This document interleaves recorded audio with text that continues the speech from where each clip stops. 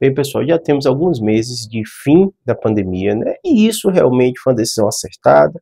O mundo volta à sua normalidade, né? Mas o grande debate da vez é qual vai ser a estratégia da vacinação do Covid, né? O tema de vacina anual, né? Os países estão debatendo isso, né? E como vai ser traçado a estratégia para a renovação. Muito provavelmente o meu debate vai ser entrar no calendário é, vacinal global, da mesma forma que a gripe entrou, e todo ano as pessoas se vacinaram. Né? Tem algumas pendências. Número um seria a unificação, né? já tem trabalhos em andamento, né? tem uma vacina de gripe Covid, né? para as pessoas se vacinarem. Não é uma solução que será rápida, então muito provavelmente no próximo ano a gente não vai ter isso, né?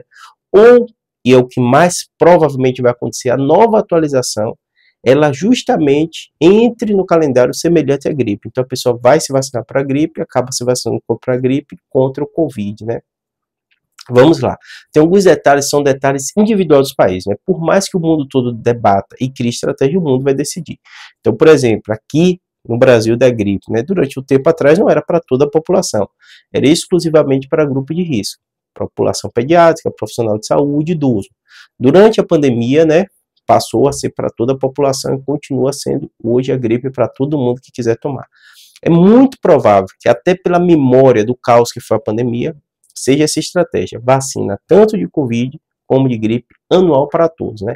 Já se ter esse horizonte para o ano que vem, seria justamente pegando as recombinações da Covid, então as pessoas vão tomar essa vacina nova, que já está em desenvolvimento e deve sair para o próximo ano, né? Acredito que talvez no hemisfério norte, por causa do inverno dele, seja um pouquinho antes, mas acredito que para a gente aqui no Brasil seja ano que vem. Então esse é o cenário, o horizonte mais claro. Se vai ser grupo específico, vai ser para toda a população, a gente vai ter que esperar um pouquinho o que a MS vai mostrar, o que esses países que estão analisando a Covid. Realmente é um cenário bem animador para o futuro da, desse caos que a gente viveu na pandemia, mas um futuro animador no contexto das pessoas com uma boa imunidade. E com isso, como é que as pessoas vão conseguir uma boa imunidade? Sem dúvida nenhuma com a vacinação, tá bom? Espero que tenha ajudado.